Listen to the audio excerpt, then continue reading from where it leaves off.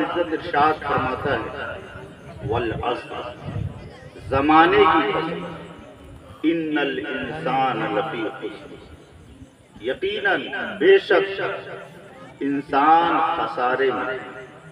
ये कौन कह रहा है? ये रब्बुल आलमीन फरमा रहा है, जमाने की कसम खा के फरमा रहा है यकीनन इंसान घाटे में, इंसान खसारे में है। मगर वो इंसान घाटे में नहीं है जो ईमान लाया और नेक अमल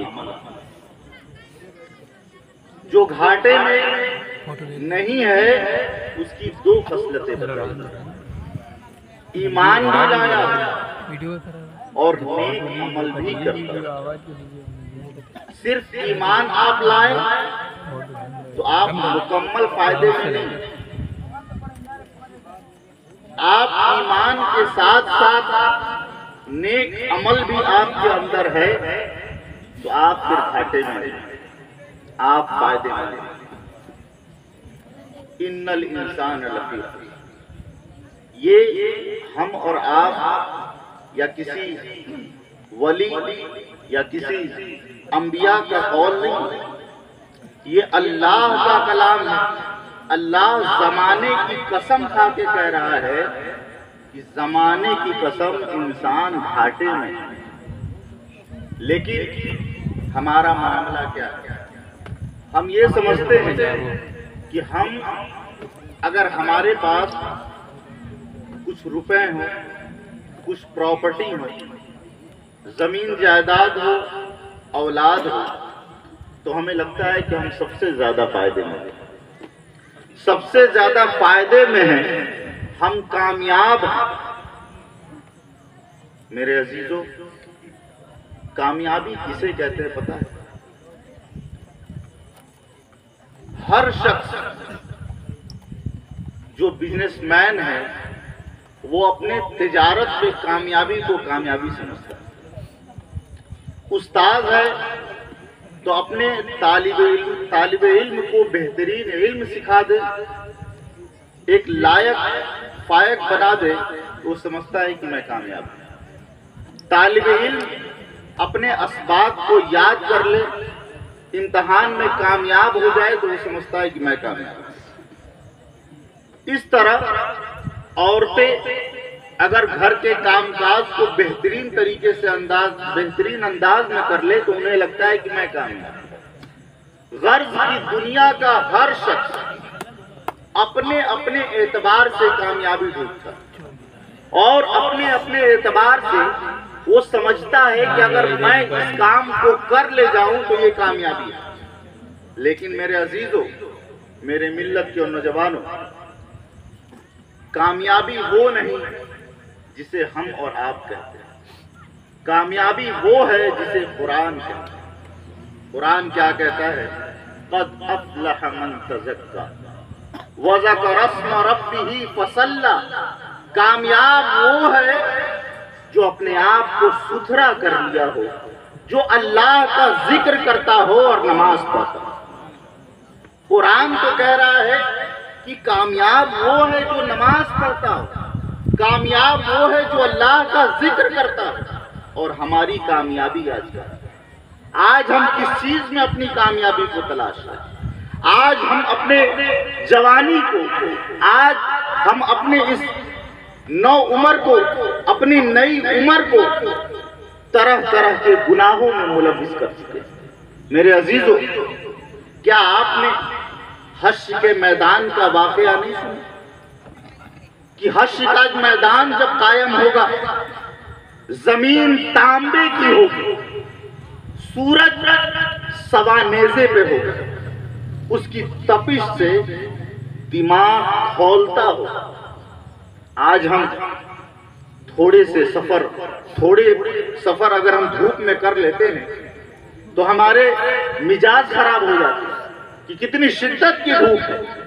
आप याद करें, हश्र का वो मैदान जब सूरज सवाने के पर होगा, आग फेंक रहा होगा उससे भेजे खोलते होंगे, और पसीना इतना होगा कि सत्तर गज पसीना नीचे जाने के बाद फिर वो तह पर आएगा फिर किसी के टुकने तक, किसी के घुटने तक, किसी के कमर तक, किसी के गले तक और किसी के मुँह तक पसीना होगा और ज़मीन तांबे की होगी। उस वक्त जब सूरज आग बिखेर रहा होगा, उस वक्त हर कोई तलाश करेगा कि काश बादल का कोई टुकड़ा आके हम पे साया करे। बादल कोई अबर आए और हम पर साया कर ले ताकि कुछ राहत मैसर हो जाए, कुछ राहत मिल जाए। लेकिन हदीस शरीफ में आता है अल ला जिल्ला इल्ला जिल्लु उस वक्त अल्लाह के अरशे इलाही के अलावा और कोई साया ना होगा। महज अल्लाह का ही साया होगा, अरशे इलाही का साया होगा और कोई साया नहीं होगा। उस वक्त जब नौजवान साय के लिए तरस रहे होंगे, धूप की तपिश से उनका भेजा खोल रहा होगा साय की तलाश में होंगे उस वक्त अल्लाह के रसूल की हदीस है कि अरशे इलाही के नीचे नूर की मिंबर लगाए गए अरशे इलाही के नीचे नूर की कुर्सियाँ लगाई जाएँगी और उन पर जिस वक्त लोग साय की फ़िक्र में होंगे साया तलाश कर रहे होंगे। उस वक्त उस नूर की कुर्सियों पर किनको बैठाया जाएगा? हदीस शरीफ में आता है अल शाबू नशा की तातिल्ला जिसने अपनी जवानी को अल्लाह की इताअत में खर्च किया होगा, उस दिन, उस उस वक्त जब कोई साया उनके ऊपर नहीं होगा, उन लोगों को ये हुक्म होगा कि ऐ नौजवानों, जिन्होंने अपनी ज़िंदगी को अल्लाह की इताअत में सर्व किया है, आओ, आज तुम्हारी वो जगह नहीं है, आज तुम अर्श इलाही के नीचे, इस नूर के मेंबर पर बैठोगे, आज तुम्हारी ये जगह है। तो उन नौजवानों को ये उस वक्त फजीलत दी जाएगी कि वो नौजवान जो अल्लाह की इताअत में अपनी जवानी को गुजारे होंगे, उस वक्त हश्र के मैदान में जब लोग साया तलाश कर रहे होंगे, उस वक्त अल्लाह का ऐसा करम होगा उन पर कि उन्हें अरश इलाही के नीचे नूर के मेंबरों पर बैठाया ये फजीलत किसके लिए? ये फजीलत उसके लिए है जिसने अपनी जवानी को अल्लाह और उसके रसूल की फर्मा बरदारी में गुजारा आज हम अपने आप को देखें कि आज हम अपनी जवानी को किन किन गुनाहों में गुजारते हैं। मेरे अजीजों, आपने इस जलसे को सजाया। यकीनन आप यहाँ से उठ के जाएँगे तो ये कहेंगे कि फला साहब ने तकरीर बहुत अच्छी लेकिन आपसे पूछा जाए कि उस तकरीर का माहसल क्या था? उस तकरीर से आपने क्या सीखा? उस तकरीर से आपने क्या लिया? तो आप अदा पता हो जाए। आपको कुछ मालूम नहीं हो। मेरे अजीजों, आप अपनी इसलाह करें। अब अगर आप अपनी इसलाह नहीं करेंगे तो कब करेंगे? कब्र में जाने के बाद करेंगे? अभी आपकी साँसें चल रही हैं। हो सकता है इस महफिल से उठने से पहले आपकी साँसें बंद खुदारा अपनी रविश को बदले। आप इतने बेशुमार गुनाहों में मुलविस हो चुके हैं, हम सब मुलविस हो चुके हैं कि आज हम जब गुनाह करते हैं तो हमें अंदाज़ा भी नहीं होता कि हम गुनाह करें। और वो बड़े बेबाकी के साथ उस गुनाह को करके निकल जाते हैं। आज हमारे मुआशरे में इतनी बुराइयाँ हैं कि हर एक बुराई पर एक लंबी गुफ्तगु की जा सकती लेकिन सबसे ज़्यादा आज हमारे नौजवानों की, जो तरक्की रुकने की वजह और गुनाहों में मुलविस होने की वजह, जो मैं समझता हूँ, वो ये है कि वो आज अपने वालदेन की नाफरमानी करते हैं। आज नौजवानों में ये चीज़ें बहुत ज़्यादा फैल गई है कि वो अपने माँ बाप को बेवकूफ़ समझते वो कहते हैं कि मेरे वालदेन मेरी बातों को नहीं समझ पाते। मेरे अजीजों, आपके वालदेन आपकी बातों को उस वक्त भी समझते थे जब आप बोलना नहीं जानते। जब आप बोलना नहीं जानते थे उस वक्त आपके माँ बाप समझ जाते थे कि अभी मेरे बच्चे को भूख लगी। अभी मेरे बच्चे को पेशाब लगा। अभी मेरा बच्चा ये चाह रहा। तो जब आप बोलना नहीं जानते थे, उस वक्त आपके वालदेन आपकी बातों को समझते थे। और आज जब आप बोलना जान गए हैं तो कहते हैं कि वालदेन हमारी बातों को नहीं समझते। अफसोस कि आज हम हर गली, हर मोहल्ले में, हर मजारात पर, हर बाबा के पास अपनी तरक्की का तावीज बनाते हैं, अपनी तरक्की के लिए, दुआओं के लिए कहते हैं। लेकिन जिनसे आपको दुआओं के लिए कहना चाहिए, आप उनसे ही नहीं कहते। आपकी तरक्की तो आपके माँ बाप के कदमों के नीचे आपकी तरक्की तो आपके वालदेन के कदमों के नीचे अगर दिल से आपके वालदेन आपके हक में दुआ कर दे तो आपकी तरक्की को कोई नहीं रोके तावीज भी वो काम नहीं करेगी, जो काम आपके वालदेन में, जो तासीर आपके वालदेन की दुआओं में। मैं आपको बताऊँ क्योंकि एक साहिब मजार का उर्स का मौका भी है तो मैं चाहूँगा एक अल्लाह के वली का ज़िक्र करूँ। आपने नाम सुना होगा, हज़रत बायजीद बुस्तामी का ये अल्लाह के बहुत बड़े वली गुजरे अहले इल्मों को मालूम होगा कि विलायत के 27 दर्जे होते हैं। उसी में एक मकाम मकाम हुजूरी होता है। मकाम हुजूरी वो मकाम होता है कि उसमें बंदा अपनी आँखों से अल्लाह के जलवों का मुशाहिदा करता है। हज़रत बायजीद बुस्तामी की यह ख्वाहिश थी कि मैं मकाम हुजूरी हासिल करूँ। उनकी एक बूढ़ी माँ थी। एक बार माँ की खिदमत में हाजिर होते हैं और कहने लगते हैं, ए अम्मी जान, तेरी खिदमत के लिए मुझे कमाना भी पड़ता है। तेरे लिए वक्त भी देना पड़ता है। तो अगर तू मुझे इजाज़त दे तो मैं जंगलों में चला जाऊँ, जंगलों बयाबान में चला जाऊँ और अल्लाह की इस कदर इबादत करूँ कि अल्लाह हमसे राज़ी हो जाए और मुझे मकाम हुजूरी हासिल हो जाए। माँ माँ का दिल तो बड़ा नर्म हुआ करता माँ तो अपनी तमाम खुशियों को औलाद की खुशियों पर कुर्बान कर दिया कर जब माँ ने ये सुना कि मेरे बेटे बायजीद की खुशी ये है कि वो जंगलों में चला जाए, बयाबान में चला जाए। माँ ने कहा अय मेरे बेटे, अगर तेरी यही मर्ज़ी है तो तू जा, मैं तुझे इजाज़त देती हूँ, तू चला जा, तू जंगलों बयाबान में जा, इबादत कर और अपने रब को राज़ी कर ले, मकाम हुजूरी हासिल कर ले। इतना सुनना था। हज़रत बायजीद मुस्तामी जंगलों में चले गए। जंगलों में जाने के बाद शहरी पर शहरी शहरी पत्तों से करते, पानी से अवतार करते, नमाज़ पे नमाज़ पढ़ते, रोजों पे रोजा रखते। मेरे अजीजों, मैं आपको बताऊँ कि आज हमने इबादत के मफहूम को भी समेट कर रख दिया। हम ये समझते हैं कि सिर्फ़ नमाज़ पढ़ना, रोजा रखना ही इबादत मेरे अजीजों अपने पीर मुर्शिद को मोहब्बत की नज़र से देखना ये भी इबादत है। अपने वालदेन को मोहब्बत की नज़र से देखना ये भी इबादत है। मैं आपको बताऊँ, हज़रत आयशा रज़ी अल्लाह फरमाती हैं कि एक बार अल्लाह के रसूल सल्लल्लाहु अलैहि वसल्लम मुझसे बहुत ज़्यादा खुश अल्लाह के रसूल ने फरमाया आय आयशा, आज मैं तुमसे बहुत ज़्यादा खुश हूँ तुम जो मांगोगी मैं तुम्हें अदा करूँ।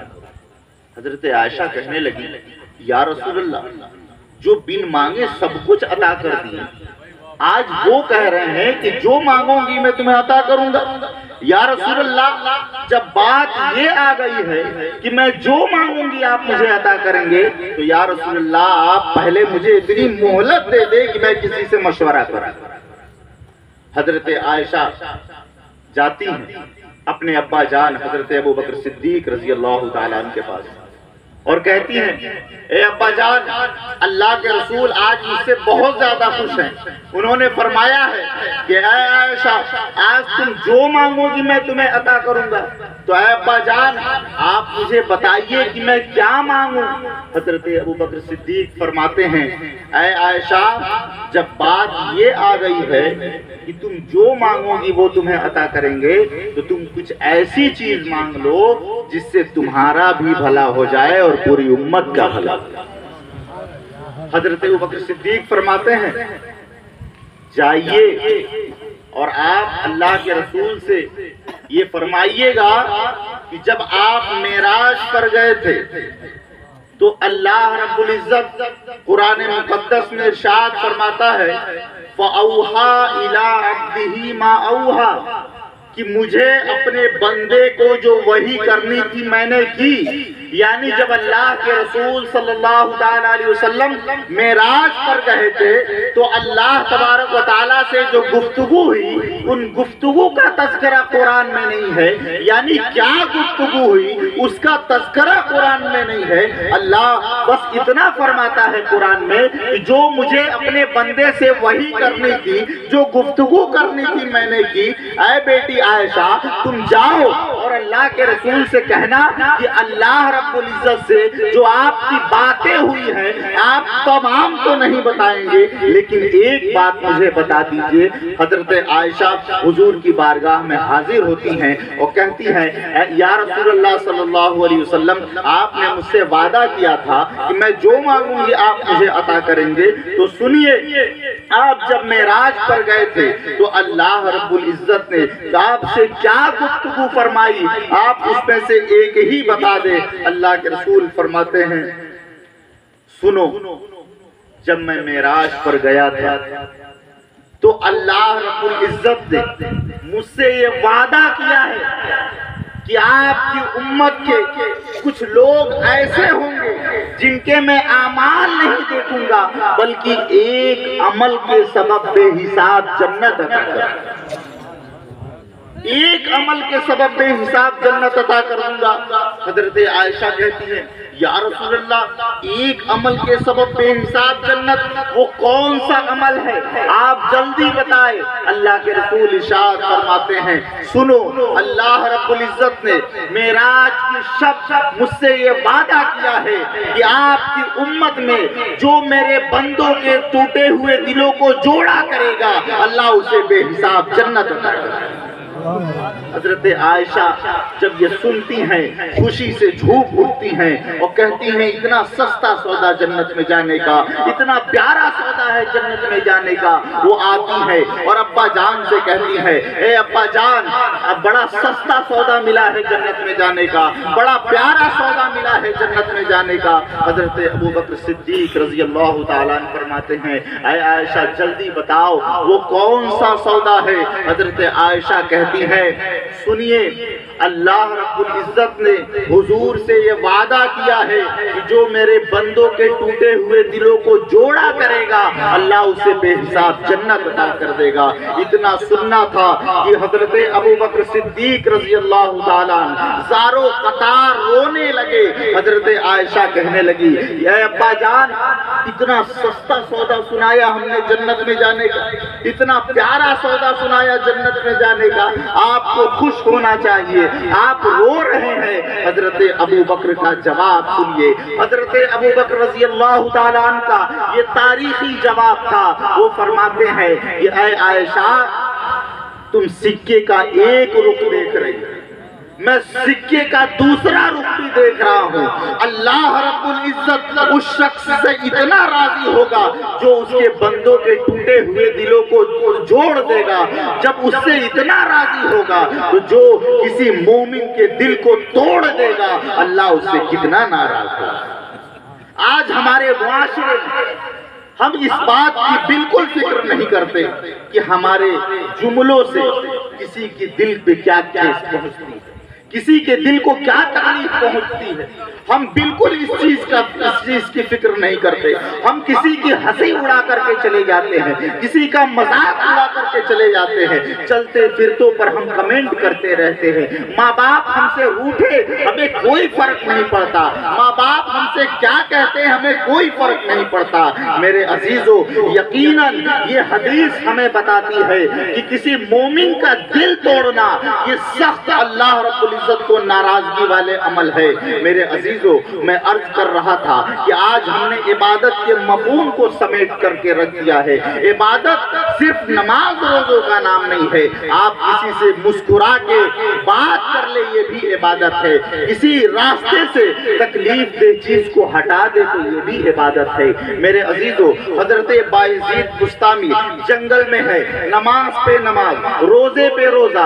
कभी शहरी पत्तों से कर करते, पानी से अवतार करते, कभी इस जंगल से उस जंगल। चालीस साल तक हज़रत बाजीद इबादत में मशगूल रहे, कभी इस जंगल से उस जंगल जाते, इस वादी से उस वादी जाते। उनके बदन पर एक जुब्बा था, उस जुब्बे के टुकड़े टुकड़े हो गए, दाढ़ी बढ़ गई नाखून बढ़ गए, खुद की खबर ना रही। जब वादी बदल रहे थे तो अचानक एक वादी नज़र आती है, वो गौर से देखते हैं तो दिल पर जब दिमाग पर ज़ोर डालते हैं तो उन्हें ख्याल आता है। ये तो वादी जानी पहचानी सी लग रही है। जब और ज़्यादा दिमाग पर ज़ोर डालते हैं तो मालूम होता है, अरे ये तो मेरी वादी मुस्ताम आ गया। ये तो मेरा इलाका है। जब उन्हें अपनी वादी का ख्याल आता है तो उन्हें अपनी बूढ़ी माँ का भी ख्याल आता है। और कहते हैं, मेरी तो एक बूढ़ी माँ भी थी। जिसे 40 साल पहले मैं छोड़ करके आया था। अल्लाह अकबर, उनका क्या हाल होगा? फिर दिल में इरादा आता है, इरादा होता है कि जब यहाँ तक आ ही गया हूँ तो चल के माँ से भी मिल लूँ। ज़िंदा होगी तो मिल लूँगा, मर गई होगी तो कब्र पर फातिहा पढ़ लूँगा। इस इरादे से वो बस्ती के अंदर दाखिल होते हैं, घर के अंदर दाखिल होते हैं, जब सहन में दाखिल होते हैं, अंदर का दरवाज़ा बंद होता है, घर को साफो शफाफ पाते हैं तो कहते हैं, लगता है माँ अभी ज़िंदा है। अब अब जब घर का दरवाज़ा बंद है तो माँ अभी लग रहा है, सोई हुई है, मुझे नींद में खलल देना मेरे लिए मुनासिब नहीं है। वो दरवाजे की चौखट पर बैठ जाते हैं और दिल में ये ख्याल करते हैं कि मैं चालीस साल के बाद आ रहा हूँ। मैं चालीस साल के बाद आ रहा हूँ। अगर मेरी माँ मुझे पहचानेगी नहीं तो मैं क्या सबूत दूँगा कि माँ मैं तेरा ही बेटा हूँ? मैं क्या दलील दूँगा कि माँ मैं तेरा ही बेटा हूँ? इस ख्याल में वो गर्व थे कि अंदर से बर्तनों के गिरने की आवाज़ आई। वो खड़े हो गए कि लगता है माँ बेदार हो गई। और वो इस ख्याल में थे कि अगर मेरी माँ मुझे पहचानेगी नहीं तो मैं क्या दलील दूँगा कि माँ मैं तेरा ही बेटा हूँ? इसी ख्याल में चालीस साल पुराने अंदाज में जब अपने हाथ को उस दरवाजे पर मारा है तो अंदर से एक हैरत अंगेज आवाज़ आती है। जैसे ही हज़रत बायजीद मुस्तामी अपने हाथों को उस दरवाजे पर मारते हैं, अंदर से आवाज़ आती है, बेटा बायजीद, तू आ गया। अल्लाह अकबर। दरवाज़ा खुलता है। हज़रत बायजीद कहते हैं, मैं तो ये समझ रहा था कि अगर मेरी माँ मुझे पहचानेगी नहीं तो मैं क्या सबूत दूँगा कि माँ मैं तेरा ही बेटा हूँ? मैं क्या दलील दलील दूँगा कि माँ, मैं तेरा बेटा हूँ। अल्लाह अकबर, मुझे पहचानना तो दूर है। माँ ने अभी तक तो मेरे दस्तक की आवाज़ भी नहीं भूली है। दरवाज़ा खुलता है, सामने बायजीद होते हैं। उनकी माँ कहती है बायजीद, ये तूने क्या हुलिया बना रखा है? ये तूने क्या हालत बना रखी है? ये जुब्बे के टुकड़े हो चुके हैं। हज़रत बायजीद कहते हैं हाँ माँ, मुझे चालीस साल हो गए। अल्लाह की इबादत में उनकी माँ कहती है, बेटा, तू चालीस साल से अल्लाह की इबादत में मशगूल है। तो ये बता, क्या तू जिस मकाम को हासिल करने के लिए गया था, तू जिस रब को राज़ी करने के लिए गया था तो क्या वो रब राज़ी हुआ? और क्या वो, तुझे वो मकाम हासिल हुआ? हज़रत बाजीद कहते हैं, नहीं माँ, चालीस साल से मैं अल्लाह की इबादत में मशगूल हूँ, मगर मुझे वो मकाम हासिल ना हो सका। इतना सुनना था कि माँ की ममता तड़पती है और माँ कहती है, अपने हाथों को उठाती है और कहती है अय परवरदिगार आलम, देख मेरा बेटा तुझे पाने के लिए कितनी मेहनत करता है, कितनी इबादत करता है। ऐ परवरदिगार आलम, ये मेरा बेटा जो मकाम चाहता है, इसे वो मकाम अता कर दे। इतना सुनना था, इतना कहना था। कि हज़रत बायजीद कहते हैं कि माँ के जुम जुमलों से माँ के मुँह से इन जुमलों का निकलना था और मेरी निगाहों के सामने से तमाम पर्दे हट गए और मुझे मकाम हुजूरी माँ के इन दो जुमलों से मकाम हुजूरी हासिल हो गया। मेरे अजीजों, आप गौर करें, चालीस साल की इबादत ने जो काम ना किया, वो माँ के दो जुमलों ने आप क्या समझते हैं? आपकी दुआओं में ताकत नहीं? यकीनन आपकी दुआओं में भी ताकत। हर वालदैन की दुआओं में ताकत है अपने बच्चों के हक अगर आप चाहें तो आज भी अपने बच्चों को उस लायक बना बना। लेकिन आपके खुद के अमल इतने गंदे हैं कि आप रब की बारगाह में कभी अपने हाथों को उठाते ही मेरे अजीजों, आज जो नौजवान हैं तो मैं अर्ज़ कर रहा था कि जो गली गली फिरते हैं तरक्की के लिए, आप गली गली ना फिरें, अपने माँ, अपने बाप के पास जाएँ और आजिजी के साथ इंकिसारी के साथ उनसे अर्ज़ करें कि आप हमारे हक में दुआ करें। अगर वो मोहब्बत से आपके हक में दुआ करती है तो यकीनन आपकी तरक्की होगी और हमारी माँ बहनें भी इस चीज़ को सुन रही हैं।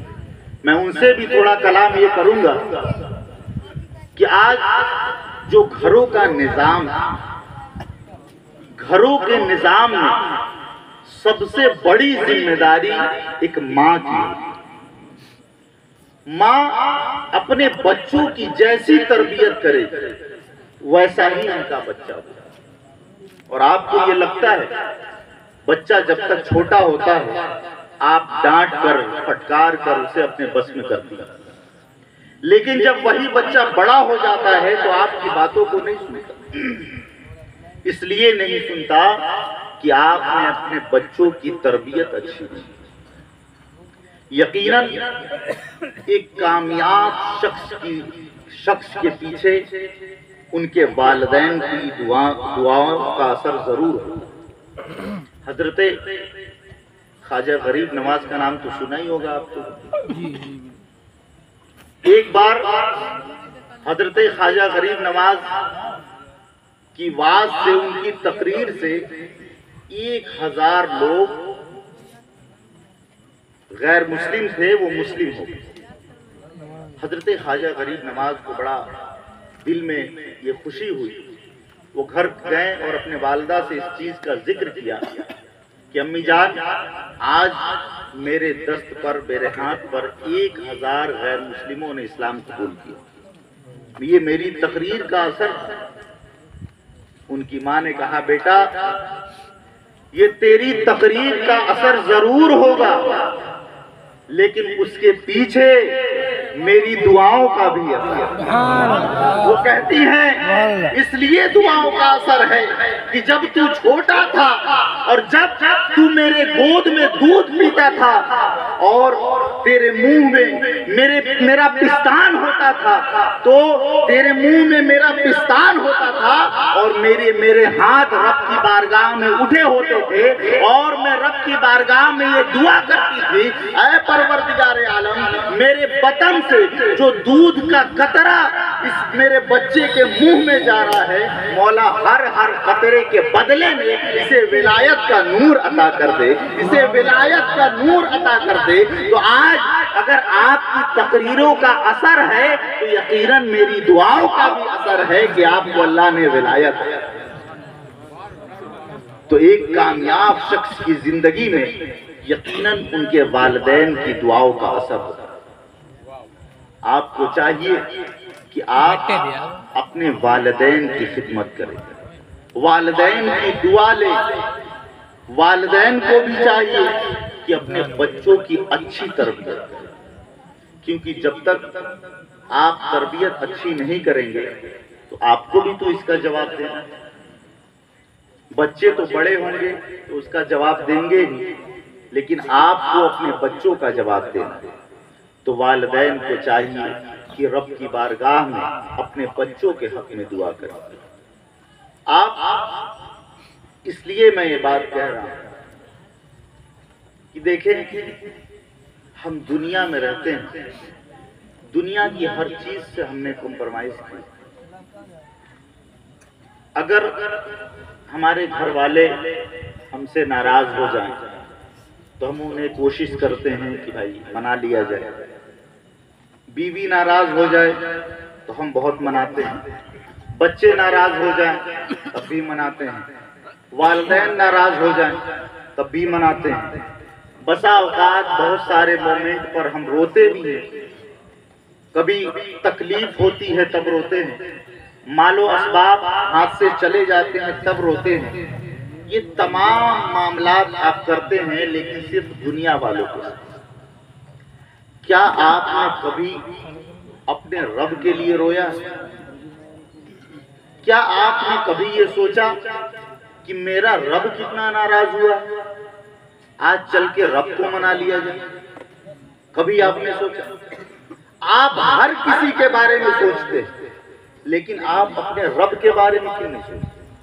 आपके दिन भर के मशगलों से दिन भर के गुनाहों से आपका रब कितना नाराज़ होता है क्या आपने कभी सोचा? आपने नहीं सोचा। मेरे अजीजों, आप अपने रब को मनाइए और रब को मनाने का तरीका ये होगा कि जब सारे लोग सो जाएँ तो तन्हाई में मुसल्ला बिछा। और रब की बारगाह में सजदा रेज हो और उस वक्त दो चार कतरात हो सके तो अपने आँखों से गिरा लिया ये दिलों में जो जंग लगे हुए हैं, यकीनन इन दो चार कतरे जब रब के खौफ से गिरेंगे तो आपके दिल के जंग धुलेंगे। मेरे अजीजों, इस चीज़ की कोशिश आप करें, क्योंकि खौफ यही सबसे बड़ी चीज़ है। हम बज़ाहिर तो ये दावा करते हैं कि हम अल्लाह का खौफ करते हैं, लेकिन वो दावा महज जुबानी है। हकीकत में हम रब से डरते ही नहीं। अगर हम डरते तो हम कभी नमाज़ ही नहीं थे हुजूर हाफिज मिल्लत अली रहमत रिजवान से वो एक महफिल में बयान फरमा रहे थे कि नमाज़ पढ़ा करो। तो एक शख्स उठा और कहने लगा कि हुजूर, फजर की नमाज़ में, फजर में नींद नहीं खुली नींद खुलती ही नहीं। हुजूर हाफिज मिल्लत ने जवाब दिया। उन्होंने फरमाया अच्छा बताओ, अगर तुम तीन दिन से सोए ना, ज़ाहिर सी बात है, अगर कोई तीन दिन से ना सोया हो तो उसे कितनी नींद आएगी? बहुत ज़्यादा उसे नींद आएगी। उन्होंने मिसाल दिया कि मान लो कि तुम तीन दिन से सोए ना हो।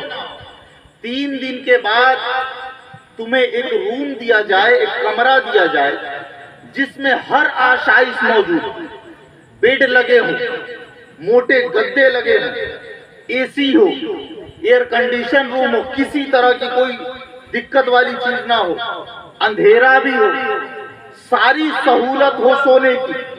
और तीन दिन से आप सोए भी ना हो। और आपसे कहा जाए कि आप जाएँ, आराम से सोएँ। और एक बात आप ये सुन लें। तीन दिन से आप सोए ना हो। एक रूम दिया जाए जिसमें सारे आशाइश हो और आप जाइए, उस रूम में सोइए।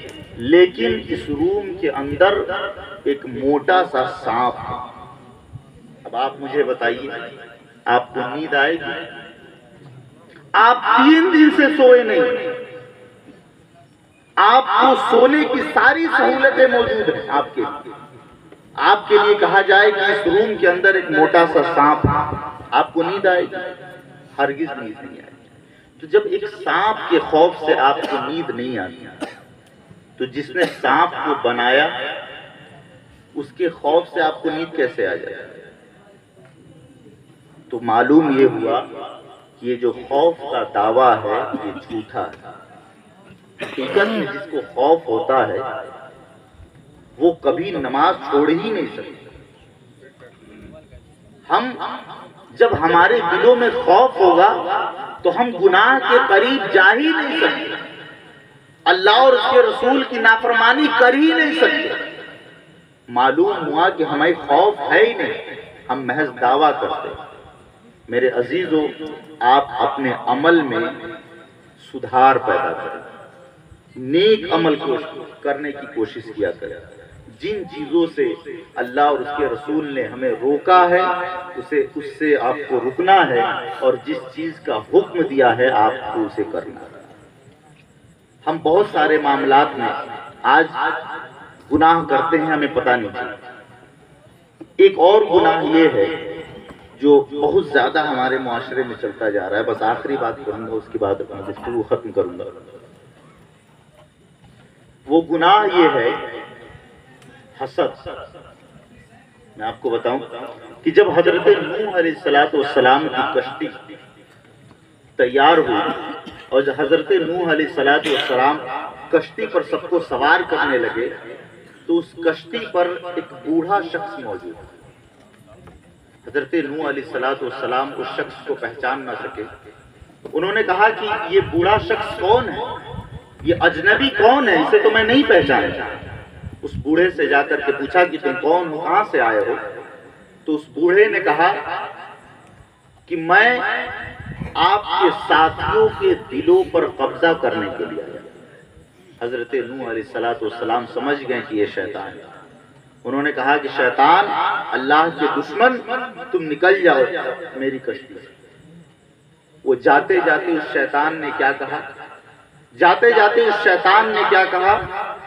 उसने कहा कि ए नू ए अल्लाह के नबी, पाँच चीज़ों से मैं इंसानों को बहकाता जिसमें से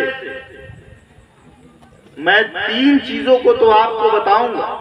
लेकिन दो चीज़ों को नहीं बताऊँगा पाँच चीज़ों के ज़रिए बहकाता हूँ, जिसमें तीन मैं आपको बताऊँगा और दो नहीं बताऊँगा। अल्लाह तबारक वाली ने हज़रत नूह सलाम की तरफ़ वही फरमाई कि नूह, आप उससे कहिए कि मुझे तीन की आगाही नहीं चाहिए।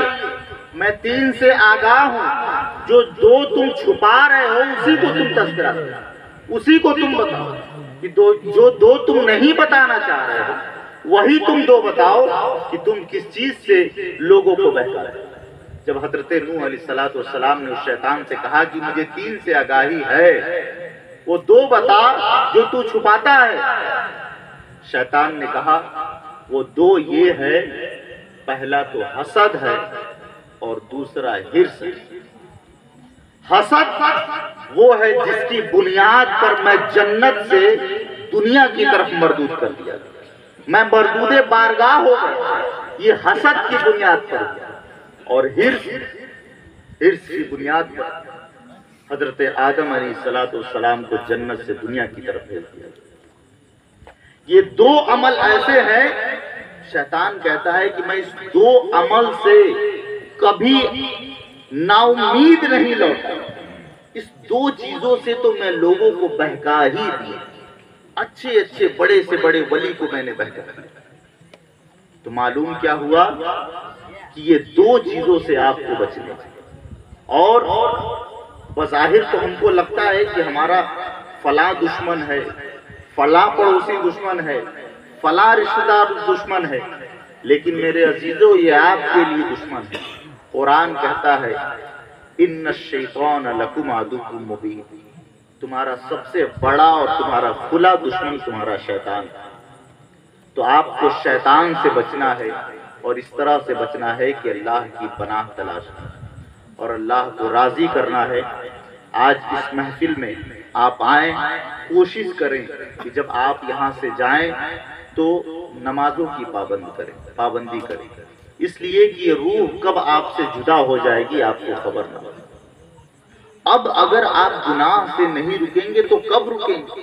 क्या उसका कोई वक्त मुकर है कि फला टाइम से मैं गुनाह नहीं करूँगा? आप इस महफिल से उठने से पहले आप अहद करें।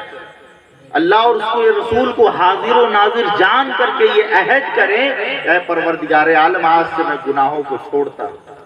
जब आप ऐसा करेंगे तो जिन लोगों ने ये जलसे को कराया है, उनका जलसे कराने का मकसद पूरा हो जाएगा।